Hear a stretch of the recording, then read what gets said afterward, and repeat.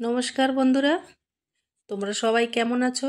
আশা করছি তোমরা সবাই ভালো আছো এবং সুস্থ আছো।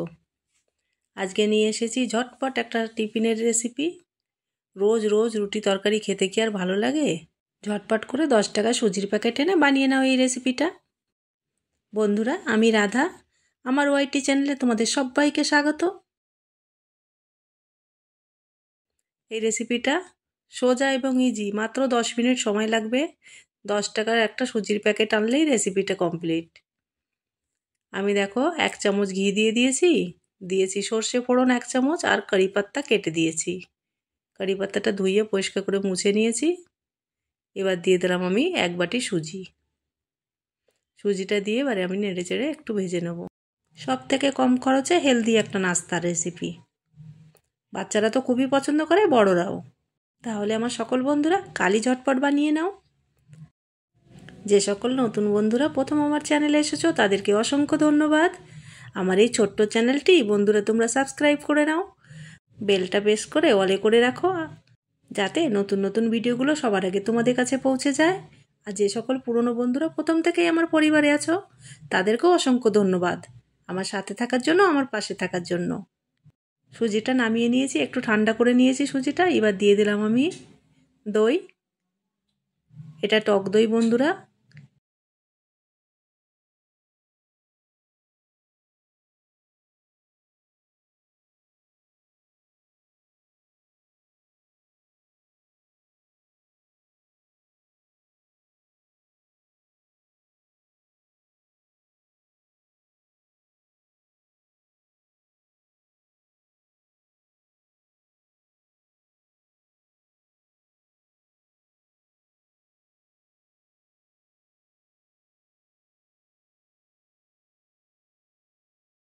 আমি দইয়ের সঙ্গে অল্প জল দিয়ে মিশিয়ে নিয়েছি, এবার আমি এটাকে ঢেকে দশ মিনিট রেস্টে রেখে দেব।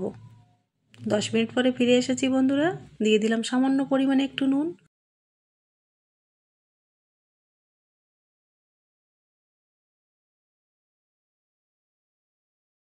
নুনটা দিয়ে এবার আমি ভালো করে মিশিয়ে নিচ্ছি।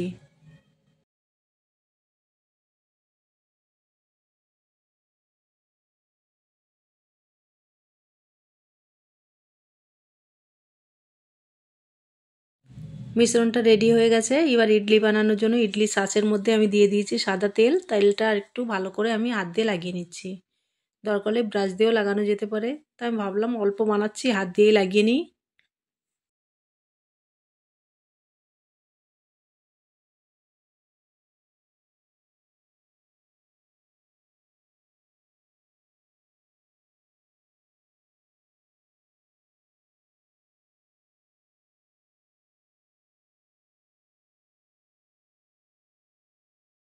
এক প্যাকেট ইনো নিয়ে নিয়েছি আমি। এটা লেবু ফ্লেভার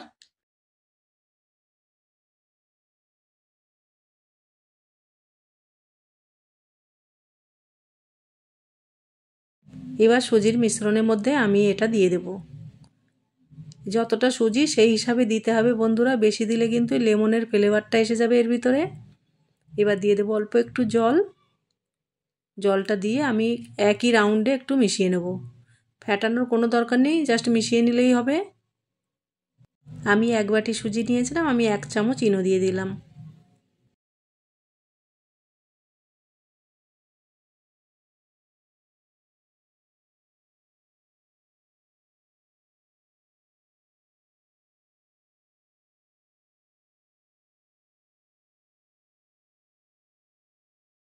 ইনো মিশিয়ে মিশ্রণটা কিন্তু বেশিক্ষণ রাখা যাবে না, ঝটপট করে বানিয়ে নিতে হবে।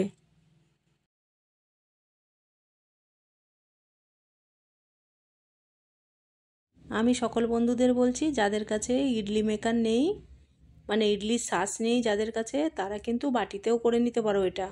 বাটিতেও কিন্তু খুব ভালো হয়। একটু সময়টা বেশি লাগে।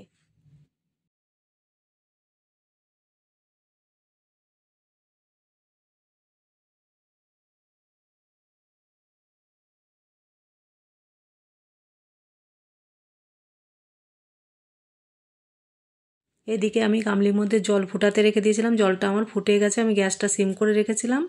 এবার এগুলো দিয়ে আমি একটু ভাপে সেদ্ধ করে নেব। এদিকে আমি নারকেল কেটে নিয়েছি, টুকরো টুকরো করে। দেখো বন্ধুরা, নারকেলের সঙ্গে দিয়ে দেবো আমি একটু আদা। এক ইঞ্চি মতন আদা আমি টুকরো করে নিয়েছি। দিয়ে দেবো দুটো কাঁচা লঙ্কা আর দিয়ে দেবো এক মুঠ ছোলা।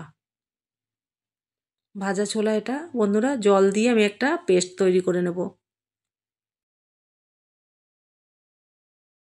এদিকে ইডলিটা আমার রেডি হয়ে গেছে, আমি নামিয়ে নেব। নামিয়ে একটু ঠান্ডা হতে দেবো। যদি গরম গরম এটা তোলা হয়, তাহলে নিচে একটু লেগে যায়। নিচের দিকটা একটু ভেঙে যাওয়ার চান্স থাকে। কিন্তু একটু ঠান্ডা হলে একদম ইজিভাবে উঠে আসে, কোনো কিছু লেগে থাকে না। দেখো কতটা সফট হয়েছে আর একদম জালিদার। একদম ইজি বানানো। যখন ইচ্ছা করে মন চায় খেয়ে নাও। একদম হালকা টিফিন। এনার্জিও ভরপুর পাবে।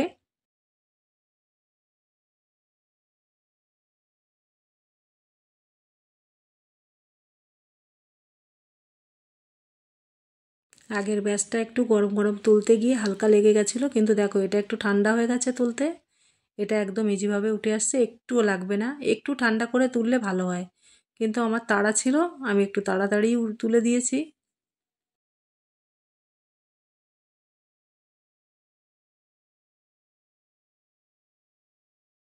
সকল বন্ধুদেরই তাড়া থাকে সকালবেলা টিফিনের জন্য। আমার মনে হয় ঝটপট যে টিফিনটা হয় সেটাই সবার কাছে ইজি মনে হয়। আমার তো খুবই ইজি মনে হয় এটা, দশ মিনিটে রেডি হয়ে যায়, কোনো টেনশান নেই। খেতেও খুব ভালো লাগে আর সবাই খুব পছন্দও করে। নারকেলের মিশ্রণটা আমার রেডি হয়ে গেছে। এবার মিক্সারটা ধুয়ে একটু জল দিয়ে দিলাম।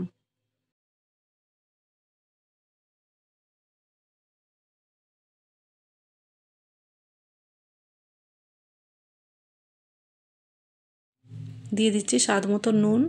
নুনটা একটু বুঝে শুনে দিতে হবে। নারকেলে বেশি নুন হলে ভালো লাগে না। এবার আমি দেখো একটা হাতাতে করেই ফোড়নটা দেব। সর্ষের তেলটা গরম হয়ে গেছে, দিয়ে দিয়েছি এক চামচ সর্ষে দানা। দিলাম আমি দুটো শুকনো লঙ্কা। বন্ধুরা, হাতাটা আমার ছোট হয়ে গেছে, ফোড়ন দিতে গিয়ে আজকে তো একদম তেল মেল ছিটিয়ে আগুন ধরে গেছিল, দেখো। আগুন ধরে তো যায়নি, আর কি আগুনটা উপর দিকে উঠে এসেছিল। হাতাটা একটু ছোট এর জন্য। ইচ্ছা করেই বড় হাতাটা আজকে বের করিনি। তবে বন্ধুরা, তোমরা যখন করবে, একটা বড় জিনিসের মধ্যে কিন্তু ফোড়নটা দেবে। না হলে এরকম কিন্তু খুব রিক্সি হয়ে যায়, তেল ছিটিয়ে আসে। এদিকে আমার নারকেলের চাটনিও রেডি হয়ে গেছে। আজকে নিরামিষ, একদম রেসিপিটা খুব খুব ভালো হয়েছে। তবে আমার সকল বন্ধুদের কাছে অনুরোধ রইল, এই রেসিপিটা করে খাওয়ার আর আমাকে কমেন্ট বক্সে কমেন্ট করে জানানোর। দেখো কতটা সফট হয়েছে বন্ধুরা। তাহলে বন্ধুরা, যদি ভিডিওটা ভালো লাগে, তা একটা লাইক কমেন্ট করে দিও, কাছের লোকের কাছে শেয়ার করে দিও। তোমরা সবাই ভালো থেকো।